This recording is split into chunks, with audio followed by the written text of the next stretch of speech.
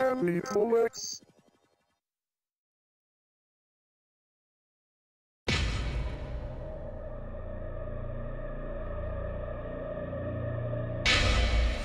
迎えには行かないのか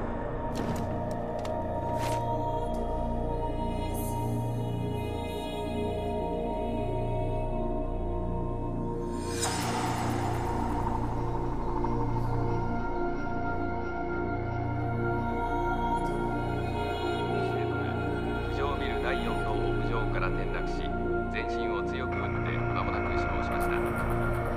これで浮上ビルでの視界とは眼球が捉える映像ではなく脳が理解する映像だ。私たちの視界は私たちの常識によって守られているんだ。人は自らの箱を離脱して生きていくことはできないのさ。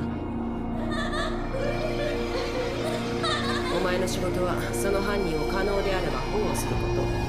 だが少しでも抵抗するようならためらわず殺してほしいとさ。どうする？実にお前向きの仕事だと思うんだが。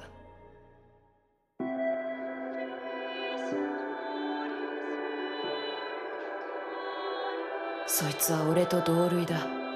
だからきっと出会った瞬間に殺し合う。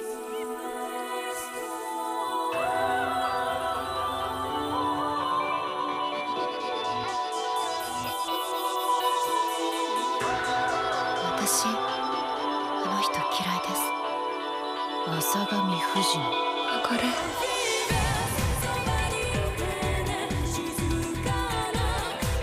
けど昔から人探しは得意だしきっと見つけてくれるよ。その憧れの先輩も。やっと会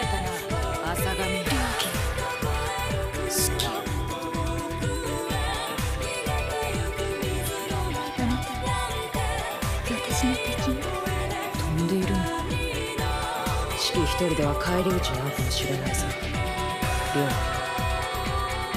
落ちろ落ちろ落ちろ落ちろ私はお前を殺したい。